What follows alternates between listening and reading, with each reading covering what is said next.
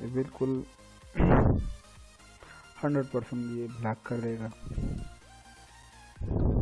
अगर आप यही तरीका आजमाओगे ये देखिए your connection is not private try to steal information ये ब्लॉक हो गई, ये काम बिल्कुल नहीं करेगा। तो ये मेरा वीडियो था मोबाइल के हवाले से कि आप अपने मोबाइल पर किस तरह किसी भी फॉरन साइट्स को ब्लॉक कर सकते हो।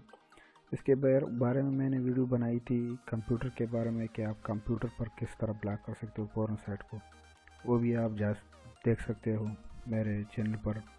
Thank you very much and Allah हाफिज़ और सब्सक्राइब भी करें हमारे चैनल को, क्योंकि हम रोज़ ऐसी टिप्स अपलोड करते हैं। Thank you very much Allah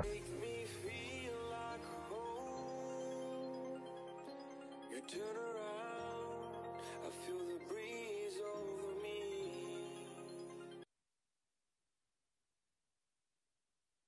Hello welcome मैं हूँ इमरान और आप देख रहे हैं लर्निंग जंक्शन आज के इस वीडियो में हम वेबसाइट को ब्लॉक करना सीखेंगे। हो सकता है कि आपके घर में बच्चे हों या हो सकता है आप कोई स्कूल चलाते हो उसमें कंप्यूटर क्लास चलाते हों और स्कूल के स्टूडेंट या हो सकता है आपके बच्चे बहुत सारे वेबसाइट एक्सेस करते हों और आप चाहते हैं कि आप कुछ वेबसाइट को ब्लॉक कर दें और वो यूज़ ना कर सकें।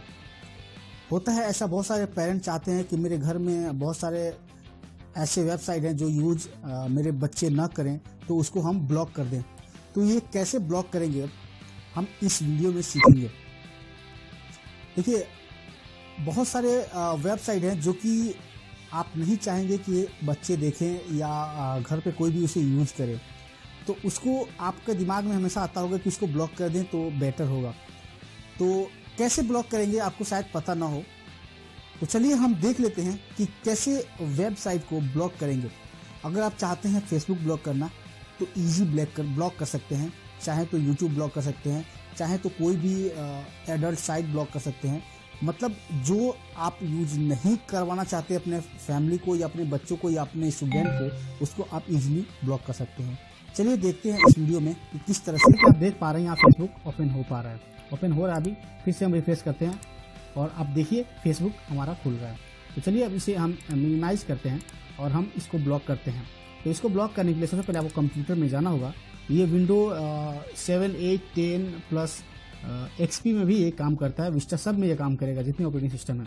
तो हम सी में आते हैं। सी में आने के बाद आपको विंडोज़ में आना पड़ेगा। विंडोज़ में आने के बाद आपको सिस्टम 32 में आना होगा। तो सिस्टम 32 ये